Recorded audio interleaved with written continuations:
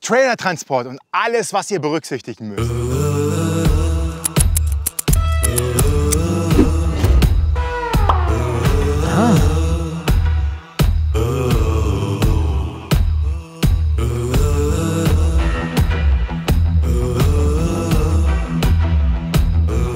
Hi Captains, it's me, the Coach.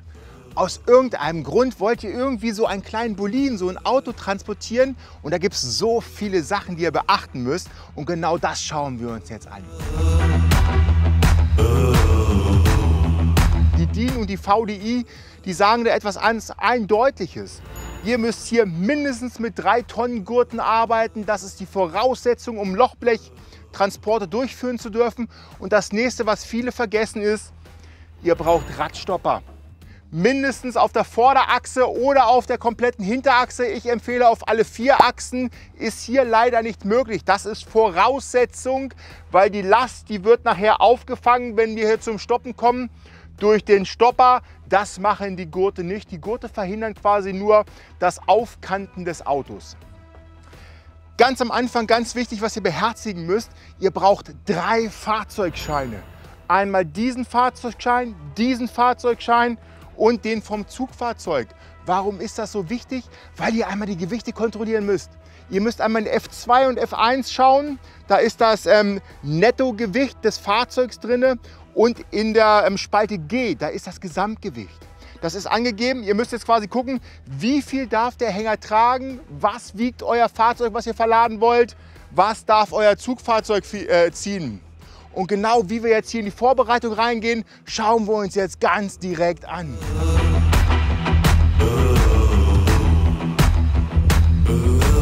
Ich befinde mich einmal hier vorne an der Deichsel zwischen dem ziehenden Fahrzeug und, dem, äh, und der Plattform. Hier gibt es auch einiges zu beachten, weil ihr habt euch ja so einen Anhänger besorgt, um nachher so ein kleines Fahrzeug zu verladen. Regel Nummer eins, die ihr beherzigen müsst für eure Sicherheit und das Fahrzeug, sorgt dafür, dass hier vorne an dem Zugfahrzeug die Handbremse angezogen ist. Das nimmt die Last von dem Getriebe und nachher, wenn ihr hinauffahrt, dann habt ihr kein unkontrolliertes Verfahren des Zugfahrzeuges. Dann die Vorbereitung des Hängers hier vorne, Stromanschluss herstellen, ähm, den äh, Kugelkopf aufsetzen, hier die Klaue, dran achten, auf aufpassen, dass ihr dieses grüne Symbol habt. Das Stützrad ganz wichtig hochheben, die Handbremse lösen und jetzt gehen wir einmal mal zu einer speziellen Sache von so einem Anhänger. Dieser Anhänger ist so ein Plattformanhänger, so ein typischer Autotransportanhänger und die sind so wippend gelagert. Das liegt daran, wir wollen ja gleich rauffahren. Dazu müssen wir einmal schräg stellen, damit wir einen flacheren Winkel haben. Und jetzt müssen wir einmal die Wippe auslösen. Dafür gibt es in der Regel hier vorne zwei Zurösen oder so Hakenösen. Die eine habe ich schon ausgehakt. Ganz wichtig, wenn ihr damit arbeitet, geht immer auf die Seite des Hängers oder auch von der Seite, von der ihr lösen wollt, ganz speziell, wenn das Fahrzeug nachher drauf steht, weil wenn ihr es löst, kann es sein, dass es einfach hochschlägt und euch vielleicht ins Gesicht haut. Wir lösen jetzt einmal diese Öse, dann seht ihr gleich genau, was ich meine. Einfach nur aushebeln und jetzt Vorsicht, die Plattform kommt jetzt nach oben.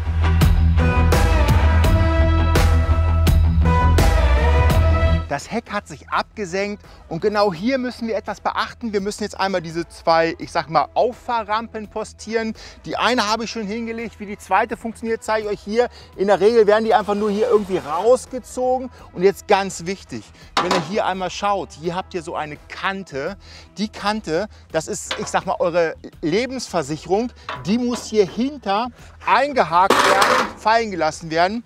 Jetzt stellt euch mal vor, das Fahrzeug kommt hier raufgefahren, hat einen Frontantrieb und zieht dieses Blech nach hinten. Jetzt sind wir natürlich sehr flach hier, es kann aber auch höher sein. Dann knallt das Fahrzeug einfach nach unten und eventuell habt ihr einen Genickbruch. Das ist wirklich schon passiert.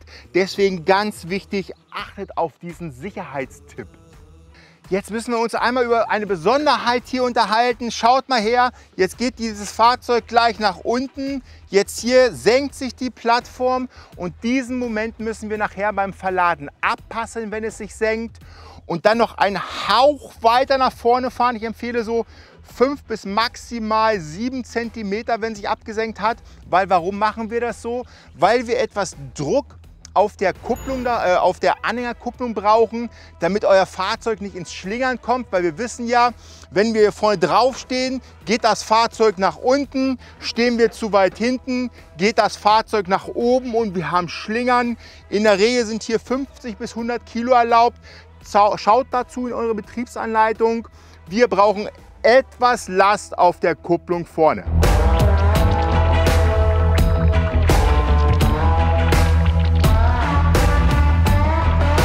Wir haben den Motor gestartet, er läuft, wir legen los. Ganz wichtig, die Spurbreite noch einstellen. Ich habe mir Hilfe geholt, weil zu zweit lässt es sich mal weiter leichter hinauffahren und es geht los.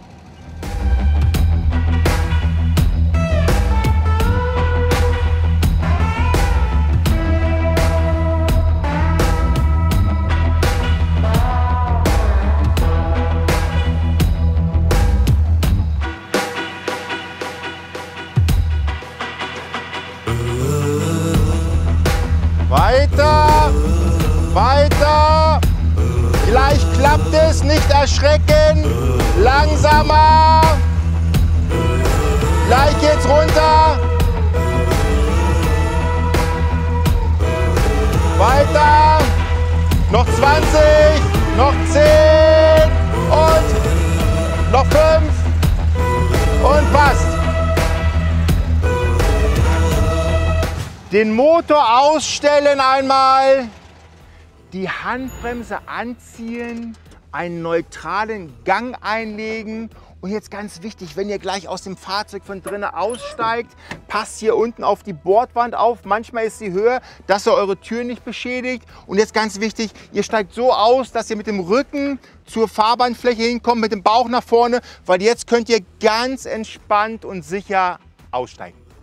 Nochmal ein ganz spezieller Tipp meinerseits, bevor ihr hier irgendwie anfangt dran zu arbeiten, bitte stellt einmal vorne diese zwei Sicherheitsverbindungen wieder her. Drüben habe ich schon eingehakt, jetzt haken wir den hier ein. Und warum ist das so wichtig? Stellt euch vor, ihr habt es nicht gemacht. Wir haben hier ja diese Wippe und wenn ihr jetzt euch durch Zufall hier hinten drauf stellt, weil ihr vielleicht was vom Dach runterholen wollt, aus dem Gepäckraum rausholen wollt, dann geht die Plattform nach unten und es könnte passieren, dass der äh, äh, Bulli oder das Fahrzeug nach hinten rollt und euch verletzen könnte.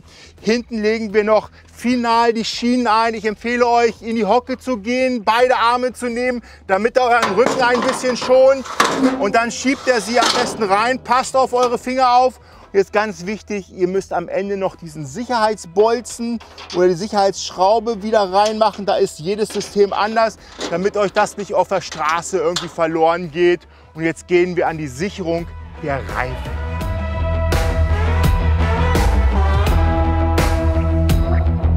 Und jetzt kommt der Spanngurt-Coach hier auch zu seiner Berechtigung, euch endlich mal was über ein Gurtband zu erklären, warum ich hier bin.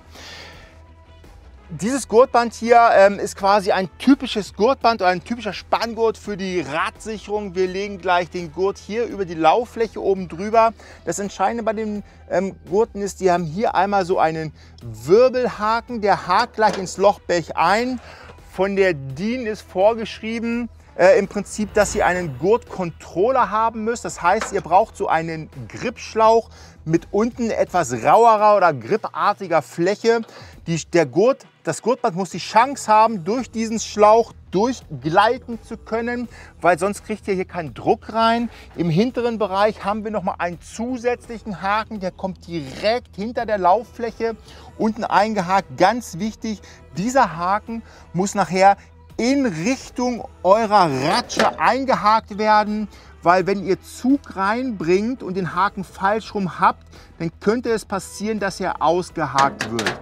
Und wie das einmal im Detail funktioniert, schauen wir uns jetzt an. Ähm, eins bitte ich euch gerne noch zu berücksichtigen. Wir haben hier Metallteile dran und ihr könnt euch vorstellen, ihr habt so ein schönes Auto. Es hat eine, ähm, einen schönen unbe äh, äh, unbescherten Lack und den wollen wir so lassen, diese Lackfläche.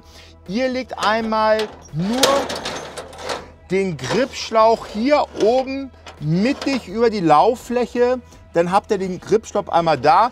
Passt auf, dass ihr nicht an diesen Stoßfängern oder hier an diesen äh, Läufen euch irgendwie ähm, verhakt oder irgendwas in der Richtung, dass ihr keine Beschädigung macht, weil es könnte auch mal sein, dass wir ganz teure Fahrzeuge ähm, transportieren, auch solche Oldtimer hier.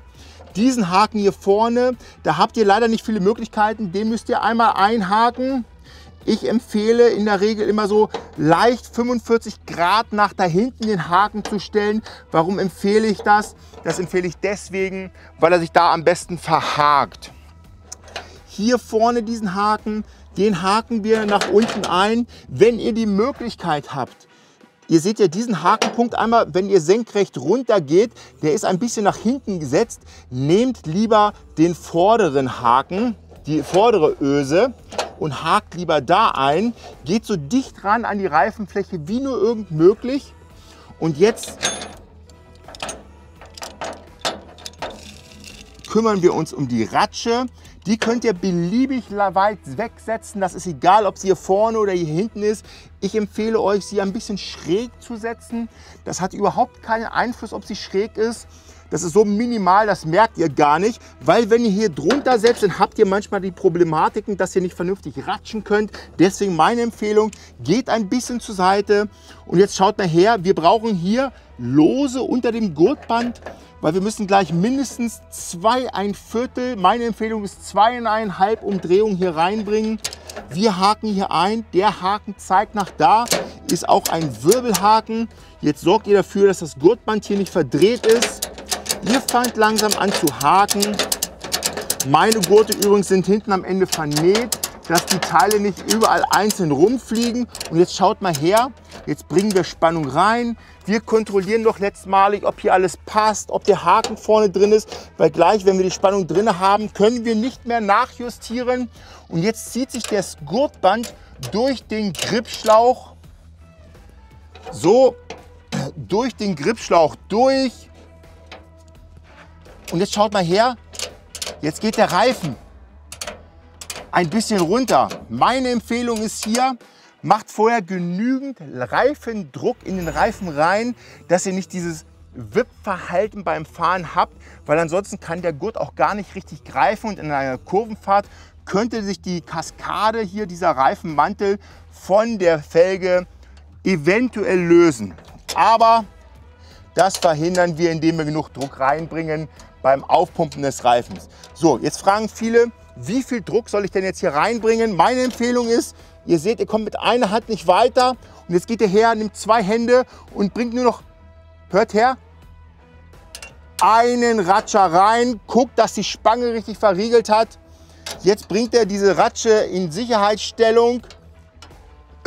Der ist optimal angespannt. Das machen wir jetzt an allen vier Reifen, weil wir haben auch vier. Bitte macht es nicht nur an zwei, wie ich es oft leider unterwegs sehe. Zwei Reifen hat den Nachteil, in Kurven können die Dinger kippen und die kriegen viel zu viel diagonale Kipplast in irgendeinen der nicht gesicherten Reifen rein. Das wollen wir nicht, deswegen nutzt alle vier Gurte. Am Ende empfehle ich euch noch einen finalen Rundgang um euer Fahrzeug. Guckt, dass alle Fenster geschlossen sind, falls es irgendwie draußen regnet. Guckt noch mal in den Fahrgastraum rein, ob da nicht irgendwas rumfliegen kann. Befestigt alles. Befestigt alles, was ihr oben auf dem Dach habt. Bitte beachtet, wenn ihr jetzt unter Brücken durchfahrt, dass eure Fahrzeughöhe doch etwas höher ist. Mit der Ladung da oben drauf berücksichtigt das. Guckt, dass ihr hinten die Rampen hochgelegt habt, vorne die Sicherheit hergestellt habt, einkuppeln, Strom herstellen. Macht noch mal eine finale Kontrolle, ob eure Bremsleuchten leuchten, ob die Rücklichter gehen, ob die Warnblinkanlage funktioniert. Und denkt dran, ein Auto hat vier Reifen. Wir sichern alle vier Reifen und keine zwei Reifen. Ich wünsche euch was. Bis zum nächsten Mal.